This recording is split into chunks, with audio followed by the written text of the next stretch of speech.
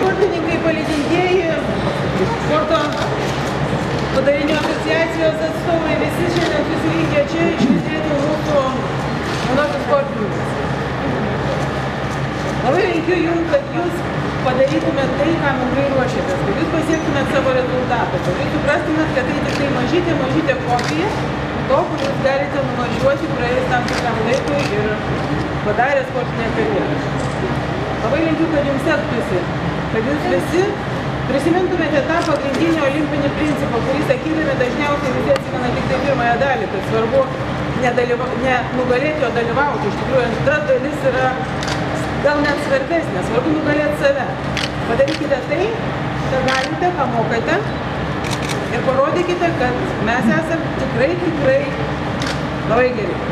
Ir šiandien mums didelė garbė, kad jūsų palidėti atvyko Lietuvos Respublikos prezidentas Valdas Adamkus.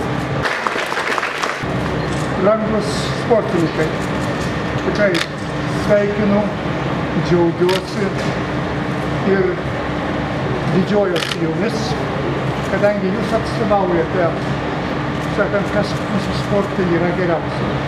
Jau vien tas faktas, kad jūs esat rinktinėje, įrodo, kad jūs esat geriausi iš geriausių.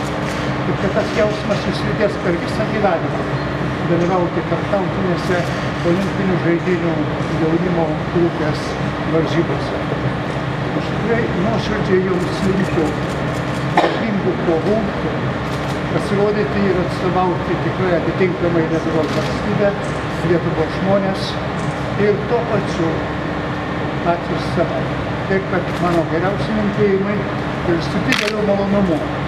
Aš čia matau, kad man paruošta yra vėliava, kurią perduosiu komandos kapitoniai. Ir norėčiau, kad jos vedama mūsų ta olimpinė komanda įėjusi į stadioną tikrai gautų pasididžiavimą ne tik mumise, bet ir ten visų dalyvaujančių jos tarpe. Sėkmės jums!